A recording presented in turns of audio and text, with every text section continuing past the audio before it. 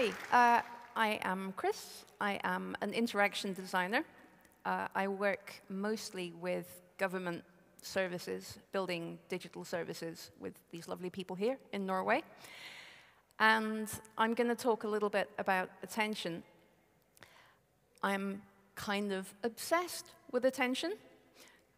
When I was on Twitter, this is now years ago, um, I was called finite attention, like finite, like limited, um, because I have this much attention, and I know that maybe some of you can relate to this. And I know that when we build services and products that are digital, we also really have to take care of people's attention because it wanders, it disappears. Aha. This is the state of events today.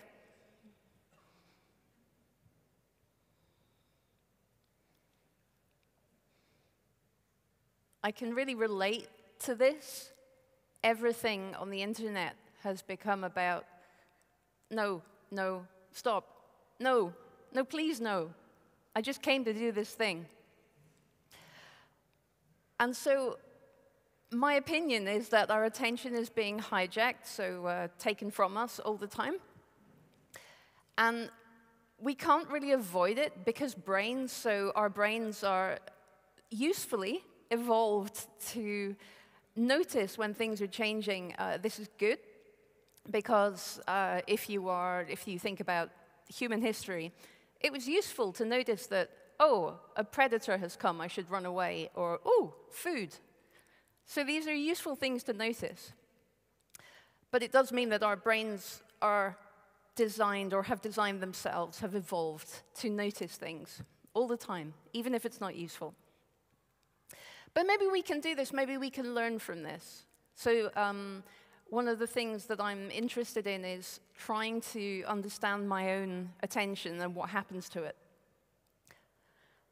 I remember that I was in London once. This is not a photo I took, it's from the internet, but um, the situation is the same. I was standing by the road, I was waiting to cross the road, and I noticed that my attention was just I kept looking at the person in front of me, and I didn't, it took a long time. This kept happening, and then I slowly became aware that my attention was just, hey, hey, what is it? Oh, they have the same bag as me. But this took like, this happened over several seconds, and I didn't really understand why I kept looking. And then my brain, my brain was like, hello, hello, interesting. And eventually I caught up and said, oh, yeah, same bag, good job. And my brain is like, oh my God. So this happens, like your attention will pull on you. And I think of it very much as like a small child, uh, which is like, hello, mommy, mommy, mommy, hello, hello. And they just keep, your attention will just keep doing this until you do what it wants. So your attention is really a small child uh, that just wants you to pay conscious attention as opposed to the work that it is doing this whole time. Oh, sorry. Okay, so I guess what I want to communicate, if you take one thing away today, is be a student of how your attention is, is working, because it's working all the time, whether you realize it or not. It's always there. It's always trying to find useful things, and sometimes it will orient you towards the useful things.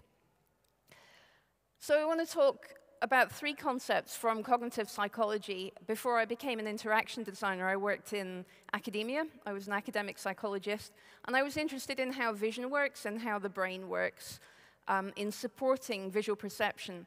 And I got really interested in understanding how people pay attention because I would do in uh, my academic life, I would do what I'm doing now. I would stand not with a microphone like this and not with a beautiful uh, salon like this, but uh, I would stand and I would talk to people for maybe two hours. You get like one hour, 50 minutes, and then you have a 10 minute break, and then you do another 50 minutes. And people are like, even if it's interesting, and I tried to be interesting, by the end, people are just like, oh, I want to go home. And I understand that. It's hard to captivate, it's hard to keep people's attention. So I started thinking, well, okay, what are all these, what are all the ways in which I can hold people's attention? And if you're already asleep, I have failed. I'm sorry. There are about 25 minutes left. So I want to talk first about working memory. And this is sometimes, you can call this short-term memory. If you want to start a fight in academia, you say that they're the same. They're not the same. They're almost the same. It's complicated. And this is really just like the number of uh, things, how much new information you can hold in your mind briefly before something else happens. And sorry, my clicker is tired. You might think, oh, I can hold loads of information. This is great. But actually, it's, oh, wait, more like this. So it's more like you have this kind of working memory capacity, and then, like, just one thing is, oh, strawberries. Uh, and then everything else falls out. It's a sieve. And a piece of research from, well, a long time ago now, like 70 years uh, almost, found that you can, this, this magical number seven, you can hold maybe seven plus or minus two things in short term memory or working memory. Let's say short term for that. And that's great, uh, except that uh, later someone found that maybe seven is uh, an exaggeration. maybe it's only four plus or minus two. This feels more real to me. And then actually, uh, reality shows that, well, it depends. It depends on you. It depends how much you practice. It depends whether all these things are new, whether you can chunk them together and group them together.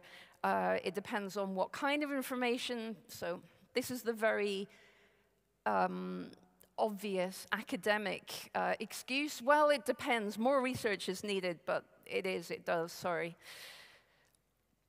Everybody agrees, though, that the sieve is very small, so we're not holding very much information in that before it falls out. And so let's see if I can make this go.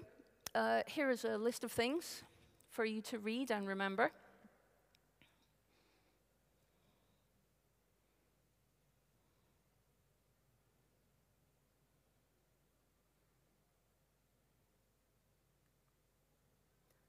Now, you might be thinking, that's a lot of things. You are correct. It is a lot of things. And the longer I talk right now, the more things you will forget. I could just keep talking, and the number of things in your working memory and your short term memory is just going down and down. Here they are again. How many did you get? Like, did you get more than five? Did anyone get more than five? Oh, good job. Um, more than six? Good. Okay, you, you, you, and you, you all have bachelor degree in psychology. Well done.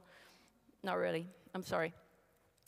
So what we find is that um, the information that you store when I give you a task like this, uh, you remember the stuff at the start, and you remember the stuff at the bottom. So this is like the primacy effect when you start, and then the recency effect later. And we figure that maybe the early stuff in the list, you kind of you had time to process that and maybe store it, and the last stuff in the list, you're kind of, it's still recent, it's still in the sieve, but it's going soon. Sorry, the clicking is not my friend. Okay. Uh, a thing I just want to mention is that sometimes people get really excited about the 7 plus or minus or the 4 plus or minus, and they start thinking it also applies to menus and lists like this, that this is too long. Not necessarily. So because the list is still here the whole time, you can just skim read it until you find what you need. You don't, it doesn't necessarily mean that you have to, like, um, that you have to have short lists. It's fine. Like now, if I take it away, now maybe you can only recall maybe five things from the list, or more if you're used to that particular menu. I want to talk quickly about cognitive load. Cognitive load is kind of a theory, it's kind of an idea. And it's become very popular in development because we talk a lot about the cognitive load of teams, like how can we reduce teams' cognitive load while they're working? How can we make sure that they can deliver without being kind of um, overloaded by things that they don't need to worry about? And I think a lot about reducing cognitive load for users. So I think, okay, how can we reduce the load on them? Um, where we work in Norway is um, we work for a part of the state and the users that we have are citizens, and they are really stressed because they need to come and get find um, either a job or get a benefit because they can't work, lots of other things. Not everyone is stressed, but a lot of people are. Not everyone speaks or reads very good Norwegian. So it's really important to reduce the cognitive load on these users so that they can get what they need and find what they need. And cognitive load is basically all about working memory. The whole idea of cognitive load is really about how you distribute working memory, how you spend it, where it goes. So almost everything costs working memory. If you can imagine that you have like a small budget of working memory and uh, everything you're about to do is going to cost. Complex information costs more. So here's some simple information. Describe a web page, right? If you imagine this is a task for you, you can be like, oh, okay, a web page. And you can tell me in one sentence, maybe two sentences, what a web page is. But if I ask you then to, um, to describe for me a complex thing, which is like, okay, how does HTML and how does CSS um, and how does JavaScript, how do these all combine to make a web page? And if you tell me that, it's hard for you to generate, it's harder for you to generate that information because there is an interdependency between all these things, and it's harder for me to understand it if I don't know what that is. So here's just the kind of the idea that um, a simple idea is maybe just three things, and two of them like relate to the first one. Complex is where like maybe there are just two things, but B here in that second diagram depends on you being able to understand E and D by themselves, and then also understand the relationship between E and D, and then how that relates to B, how that informs A, and then what does C have to do with this, right? So that's quite a complex setup, but we do that in sentences and information processing all the time. Now I want to talk about attention, which is why you all came, got here. I think people underrate attention and underestimate what it has to do with people's states of mind, and um, particularly people who have different cognitive or emotional needs. You can see from this that it's, we think about, when we talk about attention disorders, we think about ADHD, so attention deficit hyperactivity disorder. But actually, um, there's a lot of mental health conditions, so depression, bipolar, for example, can affect people's um, working memory span, stress, uh, sleep deprivation. So everyone who was out last night and didn't sleep well, um, probably your cognitive capacity today is a little bit lowered, and I'm sure you feel that. Maybe better now, but maybe this morning it was a little bit hard. And so these states, different states of being, uh, whether these are long-term uh, conditions or whether just like brief, uh, maybe you have a new baby and you're just really distracted all the time, it will change your cognitive capacity and it will change the extent to which working memory is yours to do with as you want. So stuff turns up unexpectedly sometimes. Um, new stuff attracts our attention. Photobombing, like the dog, this is great. Um, so uh, this is a great example of attention because everyone just goes, what? Um, so that's how you steer attention. You show new things, you show interesting, uh, novel things. Right.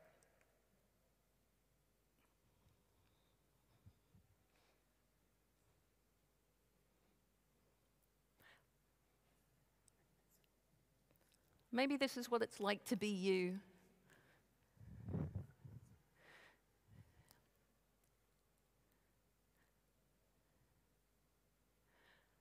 So this is extra hard, this kind of experience.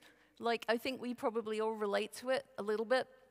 Um, it's harder, it's even more uh, demanding on you if you have an attention disorder, if you have some kind of cognitive um, condition that makes it harder for you to focus and harder for you to um, exploit all of your working memory. Stress, especially, can tend to really cramp people's uh, capacity to think for themselves and to step outside um, their normal patterns of thinking and behavior.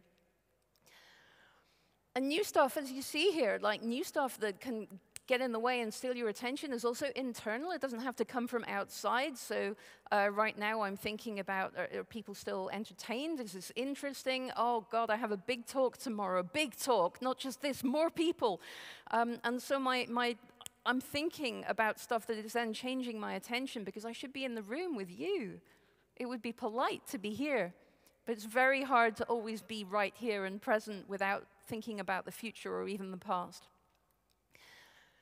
Here is a website that my colleagues, I guess, will, uh, will recognize. Um, and uh, this is our website where people come to find out about benefits. And uh, we have this little uh, chat robot in the corner here. And uh, Then you come to the website and she says, Hi? What can I help you with? And then it disappears. And so she's popped up and she's stolen everyone's attention. But like you get there and the help disappears. And then you're like, wait, why did I come here? And I'm not criticizing the people who made this. They did the best that they can. But I notice sometimes when I use our things, I notice, well, that is hard. Um, and of course, these are people who are already quite stressed. And then one choice they have now, because their attention has been taken from reading the website to over here. One choice that they have now is, oh, well, I'll just chat with somebody. I'm scared. This is scary. But now my attention is here. And then maybe that's good. Maybe they need help and they should, um, they should chat with us. Uh, but it's, we're asking a lot for them to see that information. Their attention gets captured uh, and then they, um, they're just like, oh, what happens now? Because the help, the little help went away. So, this and many other things we need to improve. So, very important. New information pushes old information off the stack, right? So, I said that we have only so much space and then everything kind of falls out. New stuff comes in, old stuff goes out. The good news is that interruption is free. So if something captures your attention, then great, that didn't cost you anything. Your attention just, just does the thing. It doesn't matter, it doesn't cost anything. The downside was that to find your way back to what you were doing before is not free. So you have to finish whatever it was and then, okay, what was I doing? Yes, and that effort, that time is, um, you can't really not do that. You can't not put that time in. So it's kind of expensive. Like I said, your attention is absolutely free. It can be sent over here, over here, over here by things, but um, you have to find your way back on your own. It's like being driven somewhere you don't know, actually, and then they just say, get out the car, go home. Like that. So, probably when this happens, something will fall off the stack because this is just happening all the time anyway. Uh, this is a weather app from Norway. I really like it. Maybe it will animate. There we go. It's kind of nice. It's soothing, right? You can look at the weather. But if I keep talking, your attention is going to keep going back to the screen because it's a moving thing, and moving things are pretty and interesting and exciting. So please keep looking back at the screen. You can't help it. So movement attracts attention. Changes in animation, so like that movement was nice and it flowed and it was kind of consistent and you knew what you were going to get. Uh, and then this is an animation that uh, I saw, I guess, four years ago. And it's, it's sort of fine, and then it changes direction. And like, this freaks me out. When I first saw it, it was on a web page, and I had to scroll away from the web page. I was just so, oh, stop it, stop it. I can feel it under my skin. And maybe not everybody is, uh, feels this way about it, but ah, ah. So ignoring motion is really hard. You're spending a lot of um, kind of cognition on ignoring it. And the best thing for me is just to leave the web page or scroll, just hope it goes away. And this is my favorite. I found this recently, um, today. I thought, oh, I'll, I'll, go and find like some good examples to show you of motion. And uh, I put in visit Norway because everyone should visit Norway. It's beautiful. And I found this. I got sent to the Dutch version of the Visit Norway site. This is a ride.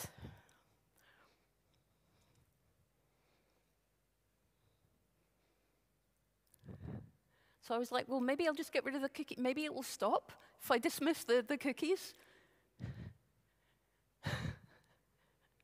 it just keeps going. It's just amazing.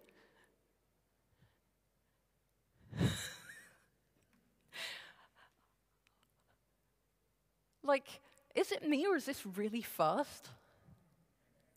And because I was sitting, I was looking at this on my laptop, and my laptop was here. It was like being in an IMAX. I was just like, whoo! It's very exciting.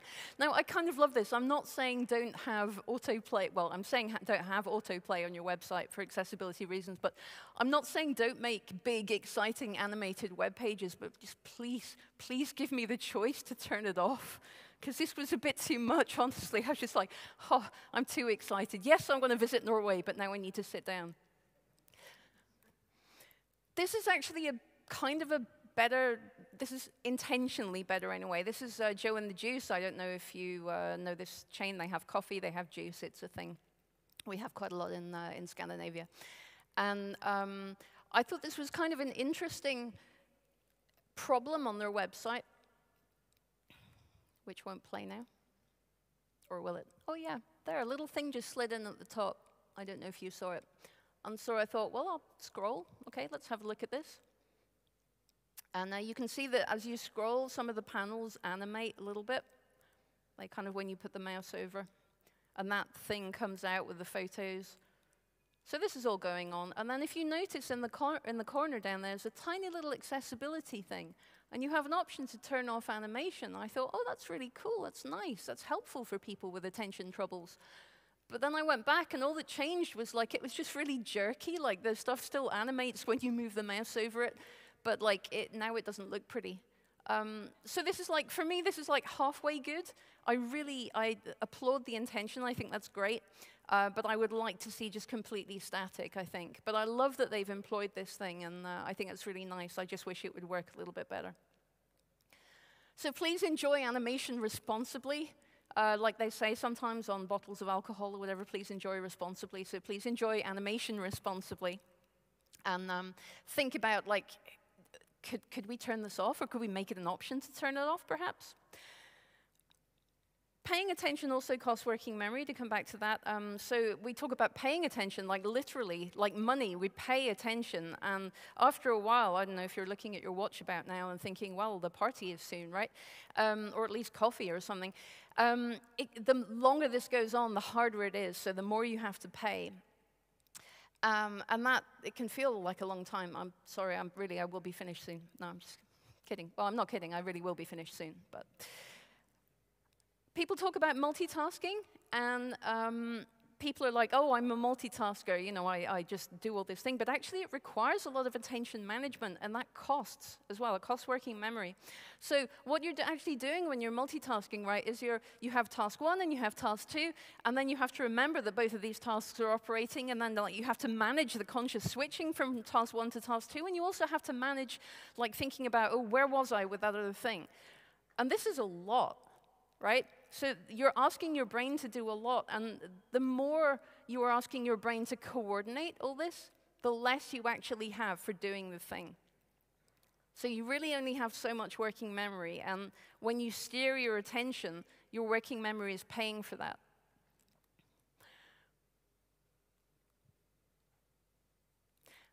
Right, I made a web page because I have opinions about things and I could not find a good example, so I just made you a pretend web page in Keynote to illustrate my point.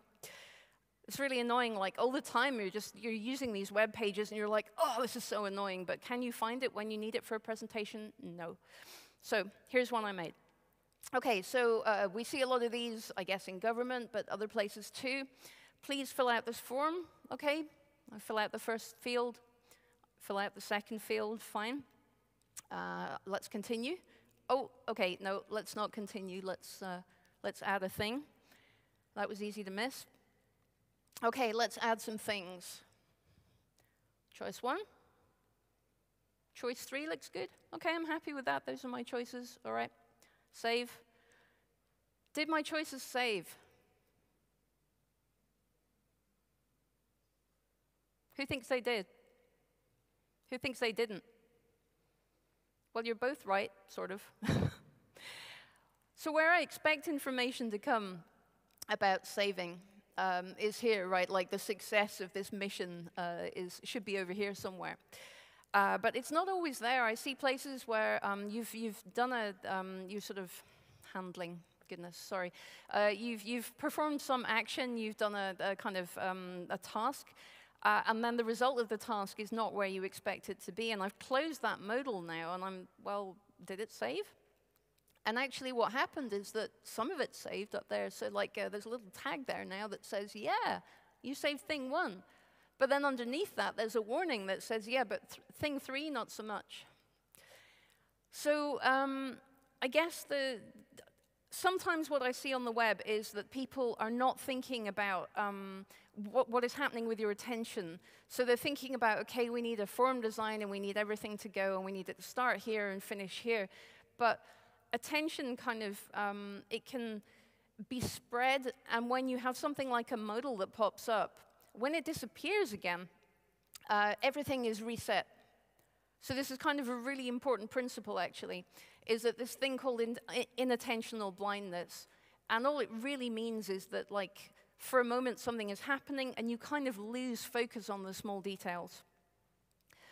Uh, this is also uh, the thing I showed you earlier before is also, um, it generates inattentional blindness because while one thing is happening, something else is happening. You can't really pay attention to both. Like you will go to whatever just moved, but if two things are happening here and here, you will miss one of them because you just can't catch up with everything. And so I think when we design things like forms, we spend a lot of time um, making the forms and making them beautiful, but not necessarily uh, enough thinking about where people's attention is at any one time. And you might be wondering, well, okay, how, how do you remove items from the stack? Well, um, one answer is you just wait, uh, because things will fall out. There's part of the sieve, like, just wait long enough, it's all gone, that's easy, that's free. Uh, but the other option is you can do something with it, so you still have stuff for a short time. And um, I like to think about this as hanging decorations on a Christmas tree. So if you think about like whatever you know about this thing from before is the tree, and then if you have new information, you can hang it on the tree. But if you don't know anything about it from before, you have no tree, and there's nowhere to hang the information. So all everything that you take in that is new is only as good as what you already know before. If you can't hang the thing on the tree, if you don't understand how to hang it or where to hang it, it will go. It will just fall out. If you have a really little crappy tree, then this is what will happen to you. It won't be, um, this is like lack of prior information, or at least not very good prior information, or you just don't understand the idea very well. So it's only as good as the tree, if you like.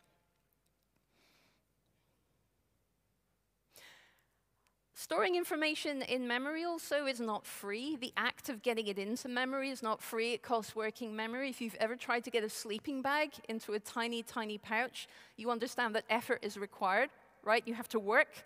Same for cognition. If you want stuff to get off the stack and into your long-term memory, you have to work. You have to spend uh, working memory on it to do that. And while you're spending that working memory, it means you're not paying attention to something else. It would be like if you were trying to pack the sleeping bag away and uh, someone is also asking you to tell them your phone number and what time you're uh, home tomorrow. It's just not going to happen. So it costs to connect new, sorry, it costs to connect new information with old information. You have to pay that tax, if you like. I want to talk quickly about some tricks for um, steering attention that are not about dynamic, that are not about animation, because I think that's also useful. Um, I think particularly if you're a developer, the temptation is to think about things that move and things that animate. But lots of things are just static, and it, it's still like stuff in the front end doesn't have to be moving to be, um, to be able to capture attention.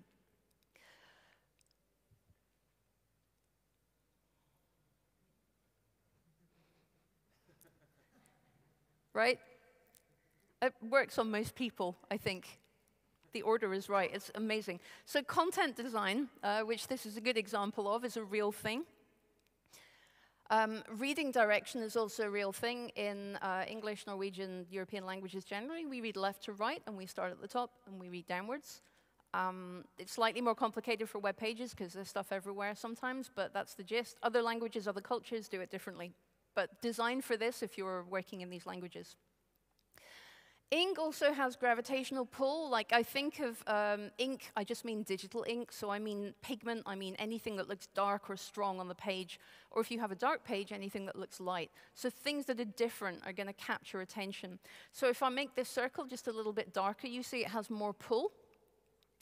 If I change the order of the circles now. This is really interesting for me because when I look at this, I'm like, I'm reading left to right, but then I come back again for the big circle because that's where my attention is going. It's kind of, I get to the end of the sentence, but then I come right back again. And so that distinction, right, between kind of that, where you end up at that side because you're reading and then the circle is right there. To me, that is a different attentional experience than doing it the other way. This is the kind of thing I sit and think about. I'm sorry, this is pretty nerdy at this point. You see attentional pull used in newspapers very effectively. So another thing I like to do is just really compress the resolution of something and then look at, well, where is strongest, right? That's really good and strong. The picture in the front is good, but look at that dark. Like, that's amazing. I'm going to look there. Uh, we also see this, so I worked before on some government websites in the UK, and um, they, have this, uh, they have this button the button is really good. The button is too good. People just go straight to the button. They don't read anything else. Um, it's a, a, great call to action, but like we had a problem with it because where do you put all the kind of what do you need to know information?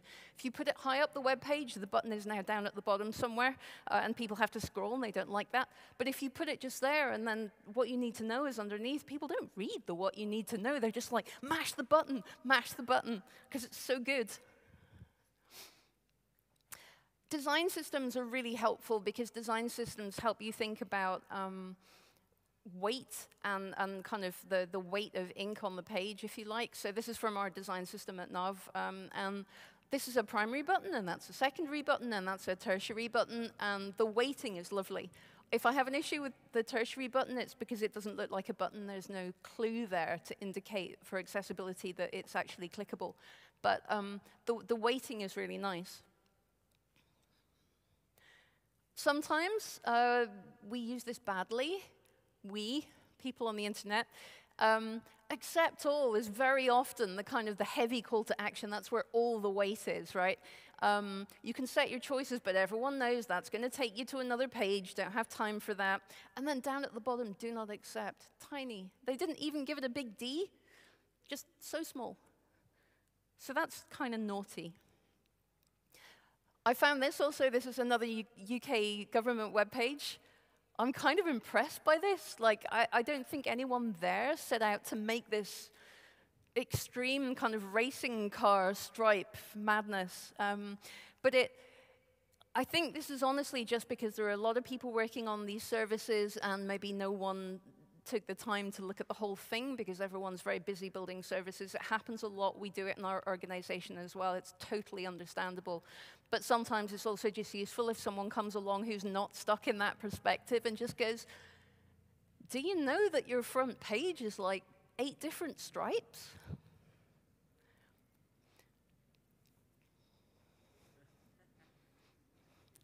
This is my favorite game.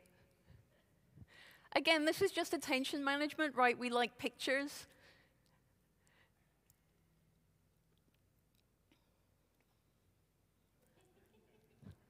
Same thing. Images are basically almost free. Your visual system is so quick to process images that it's, um, it's just easy. And you should think about where the text is because of that, because your attention just glides right through the image, boom, done, thank you, and then read the text. If the text comes first, and I wish I had a picture of this actually, if the text is over the image, sometimes you won't really read the text, you just want to look at the picture because the picture is big, it's colorful, it's interesting. But what happens if you're blind? Because all of these things I'm talking about right now um, happen, I'm talking about visual attention a lot. And um, visual is like three dimensions and time. So if I want to read something on the web, um, I can just kind of go wherever I want. And then if I miss something or I want to reread, I just go right back and I carry on, and it's all really fast. But if you're using like a screen reader, if you're blind and you use a screen reader or audio stuff, you have one direction. That's it. It just starts and then it plays and then it stops. And you can rewind. It's kind of an effort, though. It's not like vision, and you only have one dimension. You're just going along this, this um, train track. And so Nielsen Norman um, described this as the pinball pattern of like um, not audio, but for visual people, just look everywhere. Like you can take a complex website and people will just be all over the place. But if you're a screen reader user, you don't have that option. Uh, and so I looked at your, one of your papers here, and um, what would happen to me as a sighted user, I'd probably get very excited about the picture on the front there, and maybe I'd look at the story, and I'd be like, oh, I don't want to read about Russian gas and oil. Um, so then I would maybe like look over here because, oh, that's got something in English that's interesting to me, and I can understand it. Um, if you're a screen reader user, you're going to have to go through this more methodically. There is no skip. There is no, ooh, shiny picture, I wonder what that story is about. You can't do that. You go through the title, the H1, you probably go to the first H2, right? And you're like, uh, Russian, no, I don't want to read about that today. Maybe you look at the alt text, if there is an alt text for the picture. Then you're into the first H2, um, or the, sorry, the, maybe the second H2 at this point, and you read that, and then maybe you look at the third one, and everything is very sequential. There is no skip. And so you don't know, like, where is interesting. You just have to work through it. Um, but you don't even know how far forward to skip, right? If I read something a minute ago, I'm like, oh, it was just there. And I can send my attention back there. Or, oh, that looks interesting before I've read everything else. But a, a screen reader user doesn't even know, like, where. Is there interesting stuff here at all? I just have to go through it in linear flow. So I guess what I wanted to say about that um, with attention um, is that, oh, sorry, I'm getting ahead of myself. Um, the same with visual attention. Uh, attention jacking works just as well in an audio way. So, like, if something happens in here, there's like a bang or whatever, kind of people will notice, right? And you will forget for just one instant what you were thinking of, what you were doing. And then you'll reorient. The instant attention is free, the reorientation will take more, it will take longer. So, my tips really for, um, for screen readers and thinking about attention uh, is get to the point like, don't spend a long time wasting people's time with like long H1s, long H2s, and stuff. Like, they just want to skip. I have colleagues who use screen readers, and they're just, they go super fast, but they just skip, skip, skip, skip, skip until they find what they want. And it also means you should prioritize carefully. Like, if you know most people are going to um, read a piece of content, put it near the top unless there's really compelling reason not to do that. Don't make people go all the way through, like the alphabet or whatever. Be kind. And then also don't autoplay stuff because if I, as a screen reader user, if I open a, like a new tab and it just starts playing video, I've forgotten what I came here to do. I'm scrambling around trying to find the controls to turn it off. And now I've just, you know, I've forgotten what I wanted to do. Everything has dropped off the stack and I'm cross. So um, think really carefully about what you're asking people's attention to do uh, for screen readers as well as for sighted users. Good news, briefly, if you're blind, you might have slightly better working memory. There are some studies that suggest that maybe um, your, your working memory is kind of extended by uh, the situation, but uh, not all studies agree. Um, more research needed. Very typical academic uh, result. And I just want to end with this because I love it. I don't know if anyone's seen this. Uh, this is a website called um, howIexperienceWebToday.com. I'll just play this for you.